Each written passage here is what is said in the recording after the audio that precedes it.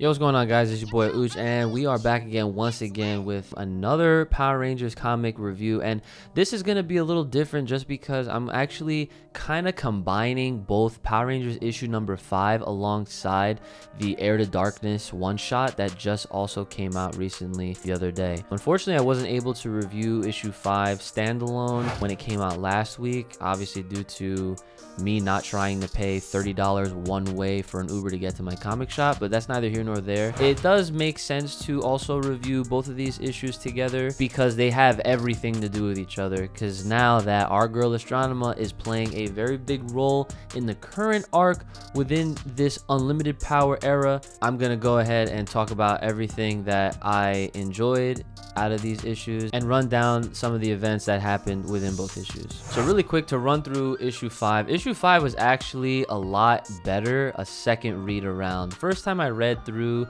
the first uh, the Power Rangers 5, I thought it was an overall pretty good episode. I liked how things were set up. Once I read it a second time and I did a couple bits of research on my own, the fact that they are really opening the entire universe of this Power Rangers uh, series is just insane, but we'll get to that. So really quick, Jason and Zach are on the planet Onyx and they're looking for a fusion converter to repair damages to their ship.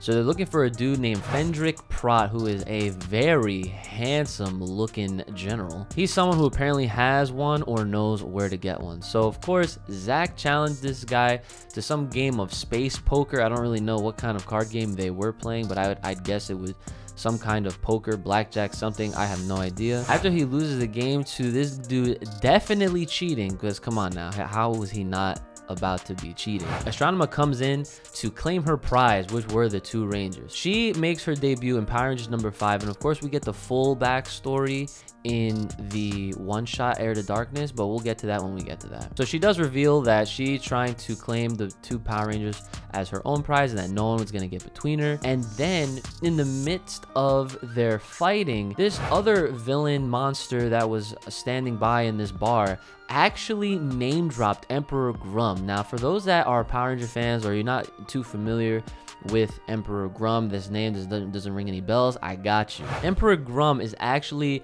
the main villain in Power Rangers SPD. So this is our first little tease, nod, whatever reference to Power Rangers SPD within this Power Rangers comic issue. So this monster mentions Emperor Gruumm and says that he would pay a hefty reward for their heads. Now checking back in with Trini and Lord Drakkon, upon scanning the Red Emissary's remains, Eleven actually found someone who may have seen the emissary in a vision of the birth of the universe. And this is also another bit that I, I can't wait to get into, so let's let me actually explain. So through this person, they had a vision and say they mentioned the first one, powerful beyond measure, adrift in an endless ocean of stars. And I read this and translated it to mean that it could possibly be the Morphin Masters were the strongest beings in the entire universe of existence, right? Moving along, the first ones then created the messengers from the light of stars, which of course are the emissaries to spread peace and tranquility.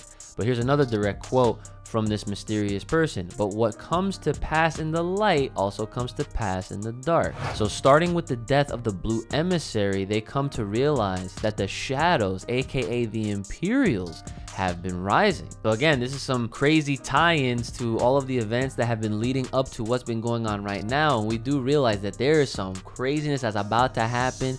And the fact that Astronema and Ecliptor are about to play some sort of roles in all of this, I really wonder how it's all going to come to be. I'd imagine the Phantom Ranger showing up at some point because we already do know that Edge of Darkness is going to be coming through this June um, that will also play a role in the overall story, I'd imagine, because if Heir to Darkness is going to play directly into this, I can only imagine the Edge of Darkness also playing some sort of role in all of this. Now to quickly talk about the Philosopher for a second, and I promise I'll actually make a separate video detailing all of what I have a feeling might set up for later is the fact that this particular philosopher is not on just any planet. They don't come from just, you know, Venus or Mars or anything that has no relevance to this story. This guy is from the planet Eden. Now, if that sounds familiar to you, and of course you are a Power Ranger fan watching this video, then you would understand that this planet is actually the same planet where our one and only Dex the Masked Rider comes from. And I know this isn't the only Kamen Rider that we've ever seen in any kind of North American adaptation, but this one is special because this one is the only Kamen Rider or Masked Rider to have any kind of relation to the Power Rangers. I obviously bring it up because, duh, I would love to see Kamen Riders play some sort of a role in the Power Rangers comics overall, but of course, that's neither here nor there. Let's get right back into the comic at hand. So, quickly back onto where Zach and Jason were at. They actually amidst the fighting were captured and taken by the SPD. So Space Patrol Delta actually comes through and of course these are brand new characters that we've never seen before. They're not even dressed up in any kind of Power Ranger suits. They kind of just have like default suits that you'd see them walking around their command center or whatnot. And they inform Jason that they tracked them down from Zordon's message that he sent out to the galaxy some issues ago. I can't remember exactly when, but I do remember Zordon sending out that mission around the time the Omega Rangers decided to take Drakkon and then go off into space on their own against his word. And because of this, the SPD personnel tell Jason that they're about to get sent right back to where Zordon is. It's also obviously revealed that Zordon is friendly with the SPD. So really quick, you have to wonder how much Zordon is keeping from his initial team because we've always been under this impression that Zordon has kind of just been completely honest and upfront and has told the Rangers everything that he knows. But it does seem like Zordon has a lot of connections that he hasn't revealed. I mean, obviously, he revealed his connection to the Aquitar Rangers later on in the TV show. And of course, they do come through to aid in helping Zordon and the Rangers, you know, obtain the Zeo Crystal. So, you know, what happens next at that point. But it really just seems like there's way more out there that he is not revealing. So back to the issue really quick. So in that same scene, there's a part where Zach learns through a scuffle in the prison that him and Astronema are both in, and he learns a little bit of Astronema's backstory. He says that she needs to get her facts straight and that he is one of the good guys. Because of course, after hearing that Power Rangers killed her family, that's not something that I'm sure Zach or any of the other Rangers would believe. So I also wanted to point out that Astronomer does seem to give off some kind of second guessing look on her face. I could have been looking at that wrong, but I don't know what you guys think. Let me know in the comments below. And the issue ends with Ecliptor approaching Drakkon and Trini, claiming that they would be able to help one another. So my thoughts on that is possibly he's trying to reclaim Astronema, and he's probably just saying that they could help each other because his only goal is to make sure that Astronema's good, and he could care less about anyone else. But because she's held up with the SPD and they just so happen to have the Power Rangers as well, he figured this could be a short little team up so that they could both get what they want out of that prison and then go along their business. Overall, this issue was definitely really good. I loved the fact that they already have involvement from other Power Ranger seasons that we have yet to be seen and I love the implementation even though this is clearly a Mighty Morphin centric series divided up into two parts that are interconnected. It's amazing how they're able to write the story and how they're able to write it while implementing all of what we already know through the television show in ways that make you feel like, damn, all of this was actually happening as all of what we're seeing is happening at the same time. And I can't wait to see how other teams could possibly get involved later on in this line of comic books. Okay, so Astronema. So overall, I just want to start with some of my thoughts that I thought of this issue before I go into reviewing some of the key points of this. First and foremost, I was really looking forward to reading this, and I'm not to say I was completely disappointed, but I was, in fact, hyping it up way too much for what I got. I really do feel like Astronema's story, even with this being the first time we're seeing Astronema's backstory, I'm not sure exactly what I was expecting, but I was expecting something a lot more exciting, a lot more hype, but it does kind of feel like there's a, just a lot of moving parts that really doesn't seem like it's all about Astronema. I feel like what's really going on is Astronema just kind of got caught up in the wrong place at the wrong time and was fed lies and that's really what her origin is all about. It's the fact that she's been lied to ever since she ultimately got her memories wiped which we don't even get to see in this issue which I'm hoping that we do see more of the pieces of her backstory told throughout the Power Ranger issues to come. So the opening has Astronema taking out the Flashman Rangers. Now I call them the Flashman Rangers because this is the first time, well, not the first time, but this is actually, I think, the second time in recent comic book Power Ranger history that we're actually seeing a Super Sentai team used in some form. The last time we saw this was actually in the graphic novel Psychopath, which funny enough had everything to do with the Power Rangers in space. And notice how Power Rangers Space gets a lot of love. Power Rangers Space is godlike, what can I say? And so this time around, they're using the Flashman. So if you go look up Flashman on just about anywhere in Super Sentai, you will see that Flashman is of course a season that came way before Zoo Zyuranger, aka Mighty Morphin, so we never got them. So it starts off with Astronema killing all of them but the Green Ranger.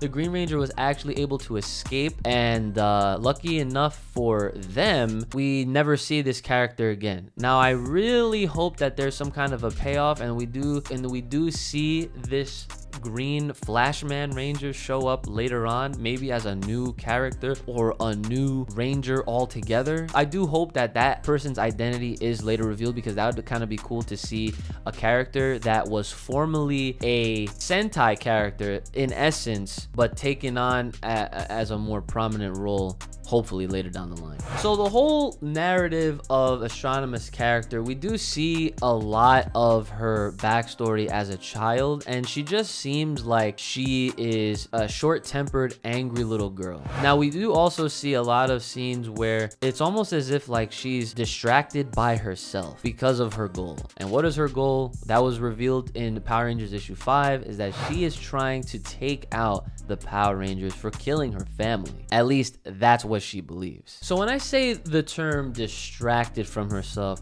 I literally mean just that. We do see some dialogue between Ecliptor and Astronema, and we do see that it's revealed that when she fights on her own, she is distracted. So that's why I feel like she is her own distraction. She's consumed by her ultimate goal, and I feel like that could sometimes cloud her judgment or her decisions or any action that she chooses to take, whether that might be a good or a bad thing. Alongside Astronema, we do see other characters that I am actually gonna not gonna lie, I was not expecting the end result of what came out of these characters. But we'll get to that. So these other three characters, I will say right off the bat, two of them not so familiar, but one in particular definitely looked like someone that we could tie into looking like a very familiar face, especially how this person was wearing red. You could definitely agree with me that we all thought this was Andros. I definitely thought it was Andros, but there's further evidence to prove that this probably isn't actually Andros. So we learned that these characters, even Astronema, have separate names. They all go by the names of D, Mal, X, and K. K, of course, is Astronema. I feel like the K is a direct reference to her actual name being Karone. But let's pay a little bit uh, more close attention to D because D actually gets a lot of shine in this issue. And she actually one-ups and bests K very often in this, and it does have a payoff towards the end of this issue. Some things to note about D, she definitely plays dirty, and uh, yeah, just remind me to mention how this ties into her character overall later on. So we then see a little scene with Dark Spectre talking to Ecliptor, mentioning that he wants his weapon, that he must sharpen them. Ecliptor says he won't he won't fail. But when he says this, he says this in a tense where I do feel like he it also has goals of his own. Maybe something up the sleeve of Ecliptor. Maybe there's a bigger, grander goal. Quite possibly trying to take the throne that Dark Spectre sits upon. And he might actually end up doing that through his own creation within Astronema or for now, K. Later on in the issue, we do see more action and more training, and young Astronema is definitely beating herself up. So back to some of the comments that I was making about her character being very distracted and being a very short-tempered and angry young child. She exemplifies that here in this scene between her and Ecliptor. She questions what the purpose is of her fighting to become stronger when she's a constant failure and she's taking all of her aggressions constantly out on herself. But quickly, Ecliptor claims her purpose in fighting is to become stronger to serve Dark Spectre, and that is what her family would have wanted in their steed. They even mention how her parents served the master with pride. So when he says that, I'm definitely, I'm definitely calling that that is BS. Those have to be lies. And this is probably one of the best parts right here. We do see more of the origin fleshing out and young Astronema's true beginning as this character K. When Ecliptor found or was given, because it wasn't really specified, young Astronema, Darkonda instructed him via Dark Spectre to process and destroy all remnants of her past. Ecliptor realizes that Kanda put him up to this because Ecliptor would be at a disadvantage to ultimately fall before the master. And apparently, having a young apprentice at the age of young Astronema is seen as an obstacle. But Ecliptor saw something in her anyway that the other generals did not. And of course, we can definitely see where this is going because it kind of just makes the most sense. It goes back to how I said that there's just a lot of moving parts surrounding Astronema that for some reason they don't really necessarily have to do with her. I feel like she just got caught up at the wrong place at the wrong time.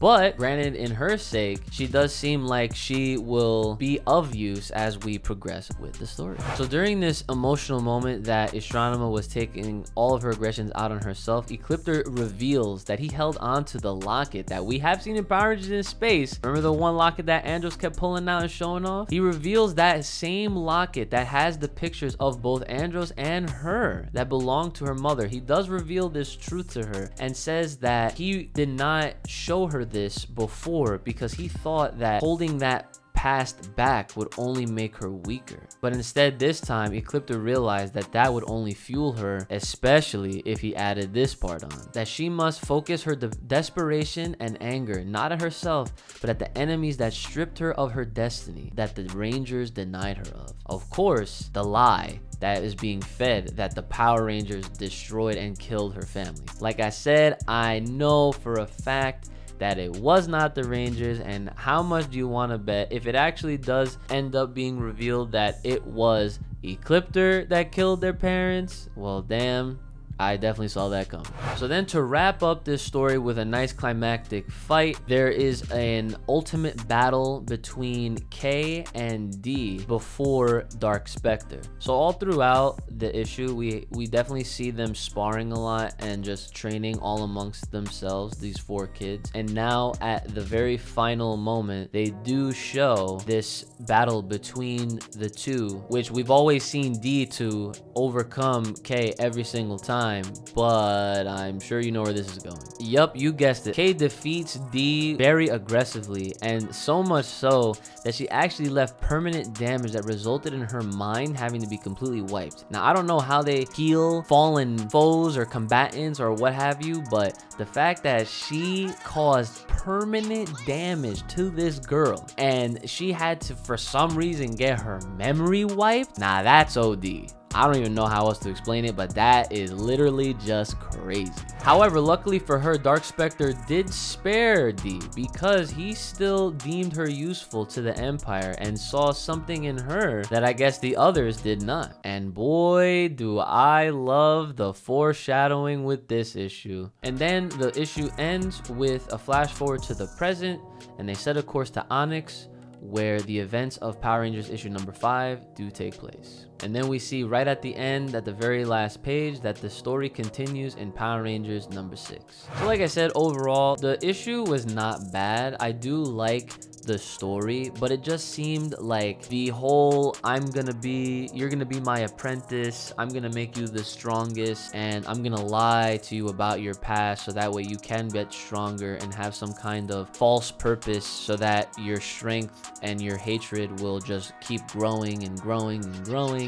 I feel like we've just seen that in a lot of other pieces of entertainment and media, and to see that within Power Rangers and especially within this backstory, that kind of felt a little lackluster to me. Now, I'm not trying to knock it, I'm not trying to say that this was bad, but I, for some reason, I was just expecting something way more. But not to say that this is the entire story, because even though this is a one shot and then this is Astronema's first actual look at her backstory outside of any you know, scenes that we might have seen in Power Rangers in space, but those scenes were very short and it was basically just only young Andros and young Karone. I do think that this story was still pretty good and I do appreciate it very much so. But I will admit, some of the moments that happened out of this story that got me to pop off were not even directly involved with Astronema. Like I mentioned, we're going to talk a little bit more about this D character. At the very end of the issue, we literally learn that because of that permanent damage, they give her something to cover this permanent damage over her right eye. And oh, what do you know? D stands for Divatox. Divatox and Astronema have a shared origin and I thought when I realized that at the very end, I thought that that was probably one of the coolest things that they could have done and probably because Power Rangers in Turbo doesn't really get that much love, especially since it's one of the most joked and memed on shows and not so much loved unless you're me because I definitely loved me some Power Rangers Turbo and we never got to see any form of a Divatox backstory. So the fact that we were able to see a backstory for yet another character involved with Astronema was actually really cool and it was someone that I wasn't even expecting at all. So I definitely appreciated this. Now back to what I was saying about how it just feels like this story just had a lot of moving parts. It's definitely true. I do feel like because of the beef between Darkonda and Ecliptor that there's something obviously going on with, with that. And I do feel like Ecliptor is really just ultimately just trying to use Astronema to have an upper hand in whatever kind of plans he has later on in the future, which I'm sure will have something to do with him trying to overthrow somebody, probably Dark Specter. But at that point, I'd imagine that Astronema would have snapped out of it and would have turned into Karone. Now, some other things that I did want to question that I wasn't so sure of was how old were these kids during these scenes? And then how old is Astronema now in the current issue? Issues. It does seem like she is the same age as the Rangers because if we're to reference the TV show for a second, it's already a known fact that Astronema and Andros are pretty much the same age, I think. And considering that she, of course, does become one of the Power Rangers in Lost Galaxy, you'd have to imagine they all look within the same age. Now, obviously, because KO35 is not Earth, not really sure how aging works in comparison, but she does look around the same age as the Rangers. So I do ask just because I wonder if we're probably gonna see any of the future allies later on in the story. We already have Adam, we already have Rocky, and we already have Aisha. It's only a matter of time before we are introduced to Tanya, and then Carlos, and then Ashley, and then our boy TJ. Ultimately though, I do love how all of this is playing together nicely. There are some things that I do feel like are missing to get the full story of Ashana's backstory, but I will give it to this Heir of Darkness that this was definitely a very, very, very great start. And it does obviously make me want to see more of the story flesh out in the coming issues. So obviously, I cannot wait for Power Rangers issue number six. So the one thing that I definitely do appreciate about D is the fact that she played dirty and this definitely made it so much more believable that wow, this really is Divatox because she was playing dirty the entire time every time she had some kind of fight with Astronema. Every time they fought, she was always trying to use her words to play mind games and to get the better side of her. And then boom, she took advantage. This relates directly to something that I can remember off the top of my head. Going back to the Power Rangers Turbo movie where she deceived the Rangers when they were trying to make the exchange for Lerigot in exchange for Jason and Kimberly. She ended up giving them dupes and it wasn't actually them, but she ended up getting Lerigot anyways. Obviously resulting in her playing the Rangers completely. Just like she did as a kid, she's been doing it her entire life and I definitely appreciate that attention to detail. And again, I'm just a huge fan of how they're able to fit in all of this lore and expand upon it in ways that I could never imagine. Now, some quick predictions before I completely end this video. I know this was kind of a long one, but give please spare a few more minutes of your time. I definitely do appreciate it. Now, the next piece of one-shot greatness is going to be the Edge of Darkness. Now, I know that we haven't seen or have any kind of inclination as to whom the Phantom Ranger is. But considering how all of this is tying in together, there was a, a part towards the end of the issue. It was like a, a flashback within this flashback where the three children were on some sort of mission. They were being deployed to some sort of mission, like I said, where one of them was shown missing. Now, this individual actually was Divatox's or D's love interest at the time. Again, I don't know how young or how old these kids are, but they're definitely kids to say the least. But Mal was confirmed to be off on a special assignment. Now, we of course don't know what that special assignment was, but this is the last time we ever have any mention of Mal. Could Mal actually be